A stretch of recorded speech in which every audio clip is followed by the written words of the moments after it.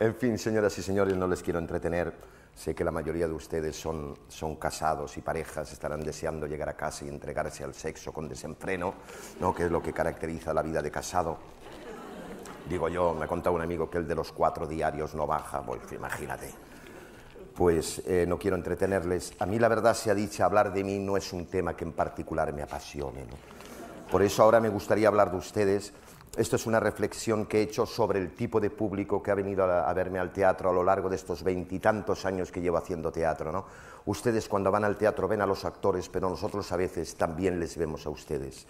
Y esto es una reflexión que he hecho sobre el tipo de público que ha venido a verme a mí.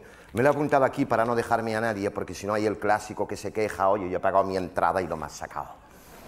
Entonces, con toda mi alma se lo dedico a ustedes, mi querido público, y la cosa dice así. Ahí está, señoras y señores, el público. Y lo hay de todo tipo. Por ejemplo, están los que han venido porque se lo han dicho. Oye, ¿tú por qué has venido? Porque me lo han dicho. ¿Y quién te lo ha dicho? Coño, se dice el pecado, pero no el pecador, no me jodas. Están los que han venido para matar el rato. ¿Rato qué? ¡Da! Y están los que han venido para pasar el rato. Pásame el rato, se lo acaban de cargar, es igual, tú pásamelo un rato. Después están los abuelitos. Nunca se aclaran con las entradas y los asientos. Procuran ponerse lo más adelante posible por los lógicos problemas de vista y audición. Son un público espléndido, pues aunque no les guste la función, casi siempre la justifican. Claro, como esto es teatro moderno. Después está el público generoso. El público generoso es ese que ha venido dispuesto a disfrutar y como ha venido dispuesto a disfrutar, lo hará. Por las buenas o por las malas. Le importa un comino que la cosa le guste o no. Su objetivo es el disfrute y disfrutará contra viento y marea. Ya viene marchoso y dicharachero por la calle. Venga, vamos para allá. ¿eh? ¿Dónde se disfruta aquí? Venga, que salgan las bailarinas. Después, señoras y señores, está ese espectador misterioso también que siempre habla en diminutivo. Es un misterio. ¿Me da dos entraditas? Sí, dos butaquitas bien cerquitas, sí, sí, sí, dos personitas juntitas. En la quinta filita, sí. Juntitas, sí. ¿Tienes un cigarrito? Gracitas. Después está el facha. Nunca falta el facha de rigor. Notarán la presencia del facha por el olor a mierda que despide desde la butaca. Si se va, déjelo que se vaya, que vayan a cagar, que es donde ellos están bien, entre la mierda, que es lo suyo esa mierda que sacan por su puta boca cuando hablan y por el puto culo cuando cagan. Es el mismo material que le recicla a esos hijos de la gran puta. A la mierda con ellos.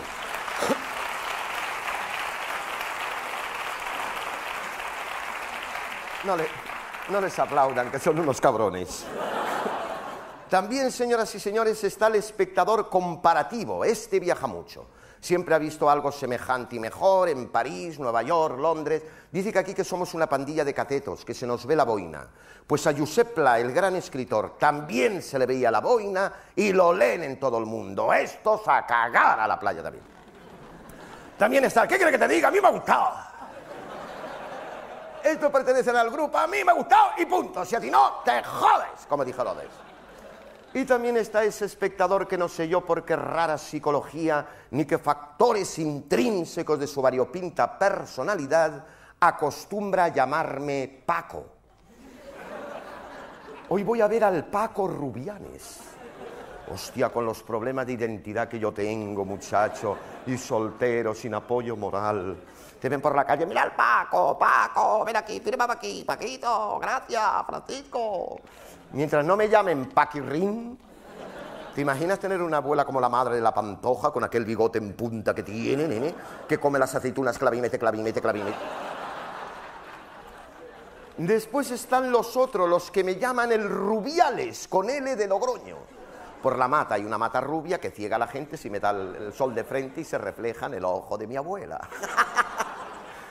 y los que hacen paquete, Paco Rubiales. El otro día entró en un bar, había unos señores muy amables, hombre, Paco Rubiales, usted por aquí. Digo, no, no, no, Pepe Rubiales, no, a mí no me engaña. Después, señoras y señores, están los invitados. Los invitados, por lo general, no todos son así, por supuesto, son cojonudos, porque encima de venir gratis, después te critican. Es como si ustedes invitan a alguien a comer a sus casas y dicen, vaya mierda comida que me has hecho. ¿Te importa que te la vaya vomitando? También está el espectador que me desea lo mejor. A este ya le daría yo un pico y una pala, ya. Y no podían faltar mis amigas las solteronas. Ya sabéis, amigas mías, Dios nos cría y el viento nos amontona. También están los que te miran con descaro por la calle. Oye, ese no es. ¡Oye! ¡Oye! ¡Ese no eres! El Paco Rubiales.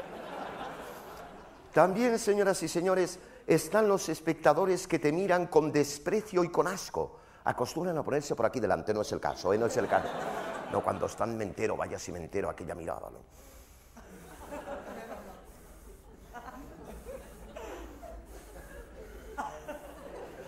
A mí me la bufan por delante y por detrás. Hombre, la puerta está abierta, el que se quiera ir, que se vaya. Ellos ya se quedan para joderte. ¿Tú sabes lo que es ese careto, toda la función aquí delante? Una vez le dije a uno, oye, pedazo de cabrón, ¿cómo continúas con esa cara? Te voy a mear desde aquí. También, señoras y señores, está ese espectador que entró en el teatro sin tener ni puta idea de lo que venía a ver. Y sale de aquí con menos idea todavía. Bueno, ¿qué has visto? Me lo he visto todo en su globalidad.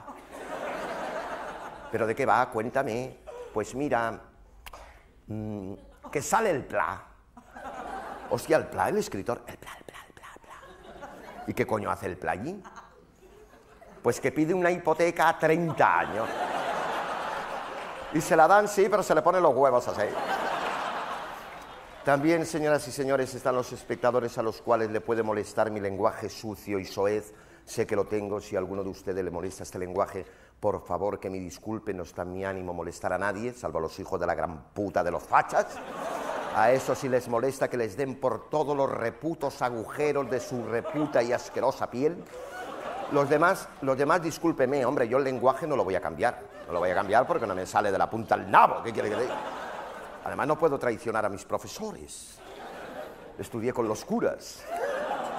Aquella pandilla maricones, ¿eh? que nos tocaban los huevos a los niños. A ver qué hay en ese paquetito, saque. Uy, un pito, voy a soplar a ver si suena. También, señoras y señores, están los de las despedidas de soltero que vienen a pedirte que les digas algo al novio o a la novia. Yo los mando al carajo a todos. Coño, si están pasando un mal momento, a mí que no me metan en ese fregado.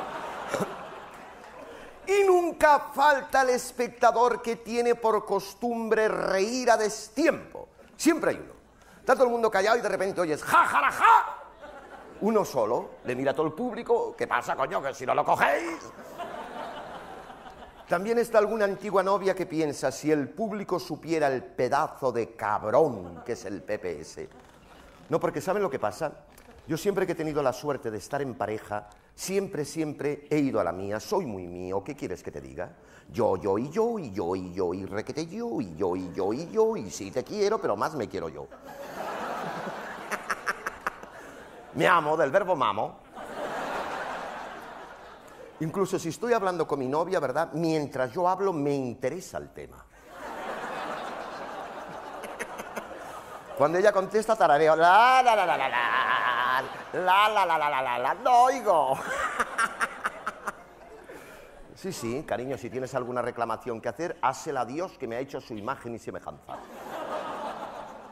Pues se ve que en eso he salido a mi abuelo, qué fuerte, oye, mira cómo se le dan las cosas en la familia. Se ve que se heredan por los genes, de James, los genes. Se ve que mi abuelo cuando se casó, fíjate, se fue solo de viaje de novios. Porque ir los dos era caro, era caro. Y él dijo, bueno, ya me sacrifico, ya voy yo, venga, ¿dónde hay que ir? A ver, darme planos y brújula. Fue a Mallorca, fue por 15 días, se quedó medio año, le mandaba postales a mi abuela y que ver, Carmen, qué bonita es Mallorca, a ver si un día te anima. Pues yo igual, yo, yo y yo y requete yo, y lo tomas o lo dejas. Me dejan, como ellas van a la suya, me dejan. Incluso si voy a cenar con mi novia a un restaurante, ¿verdad? Y estamos ahí cenando tan ricamente, si ella se va al baño, yo me ceno lo de ella. O se mea o se cena, a mí que no me joda. O salimos a mear o salimos a cenar. Coño, pero que no juegue conmigo, hostia. Que no me cree ilusiones y después me las quite. Es verdad. Lo dejamos, lo dejamos. Pero conmigo yo no soy un calzonazo, no te equivoques. Yo si salgo a mear, meo. Si salgo a cenar, cero. Las dos cosas a la vez, no. Claro, cuando la otra vuelve, Pepi, mi cena, aquí. Tío, ¿de qué vas? A la mía. Ahora las que van a cenar conmigo, como ya lo saben, cuando van al baño se llevan el plato con ella. También, señoras y señores, falta el espectador que nunca viene. El día que venga me ha jodido porque lo tengo que quitar. También está el espectador que me pregunta que aparte de hacer teatro, ¿en qué trabajo? Algo trabajará, digo yo, ¿no? También están los espectadores a los cuales no les va a gustar mi trabajo y tienen todo el derecho, vamos, faltaría. Hombre, jode, claro que jode, pero hay que estar a ello. Nunca falta el espectador que se duerme. Lo hace en tres tiempos claramente definidos, no engaña a nadie. Tiene un primer tiempo que ves que te está mirando con una profundidad de ojo que no es normal. O sea, te está diciendo, me voy a dormir. Te pongas como te pongas. Tiene un segundo tiempo que ves que le escora la cabeza a un lado y al otro, la levanta duras penas con los ojos cruzados e inyectados. Busca el escenario, no lo encuentra a pesar de tenerlo ahí. Y ya cae y ronca. Y si ronca, ya lo has perdido para la función.